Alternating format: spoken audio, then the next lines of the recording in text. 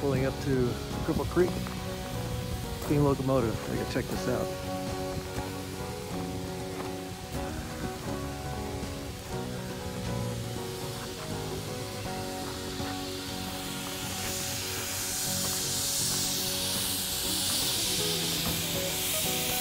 You?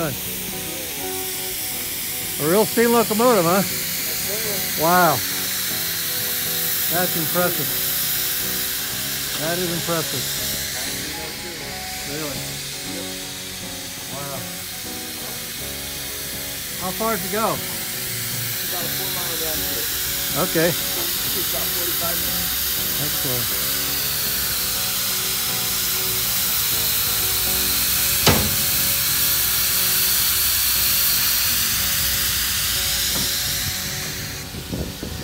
I'll even open the firebox for you in a minute. That is.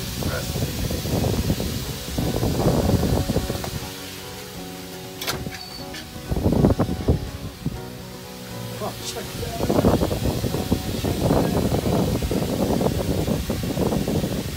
that is impressive. Now, how often do you have to shut? Um, probably four or five times a trip. You want to blow the whistle?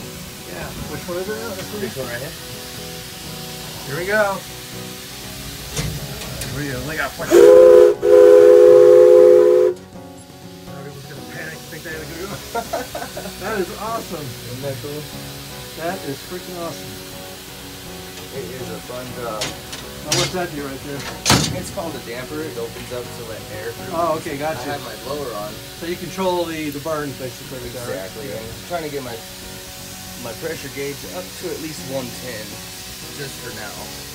I'd like it at 125, but I'm about to go grab my lunch and I don't want it too high when I walk away.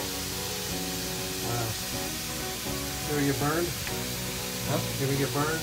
Of course, that's the last question. Oh, Oh, come on! I'm always getting burns. I mean, no. The, the worst is when I'm coming back and I'll stand like this and blow this whistle yeah. and touch this oiler, lubricator, Yeah.